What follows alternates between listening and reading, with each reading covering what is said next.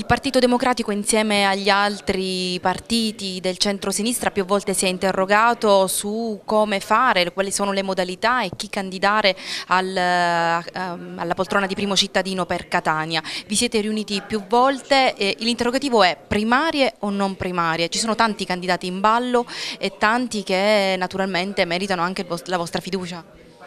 Beh, io, la risposta sta anche nella domanda, ci sono tanti candidati in campo, tante belle risorse che il centro-sinistra può spendere, anche movimenti civici che fanno avanti e che mettono avanti le loro candidature, credo che Dopo dieci anni di centrodestra che hanno, 13 anni di centrodestra che hanno umiliato in questa città, anche il metodo con cui sceglieremo il candidato sindaco segna una differenza, per questo già con i partiti del centro-sinistra ci siamo visti, abbiamo stabilito il punto delle primarie, ovviamente subito dopo le politiche eh, ci siederemo per eh, per formalizzare, per formalizzare, il percorso, io credo che da questo punto di vista primarie, civiche, partecipate diventino il modo per dire alla città abbiamo un percorso di cambiamento e questo percorso di cambiamento lo vogliamo fare coinvolgendo i cittadini.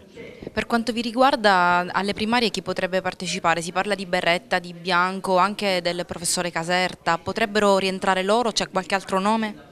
Ah, ci sono una serie di risorse che si sono fatte avanti da Enzo Bianco a Giuseppe Berretta, professore Caserta, eh, ci sono anche altre candidature che sono emerse e che stanno emergendo in, alcuni, in questi ultimi giorni, penso a quella del magistrato Marisa Cagnino.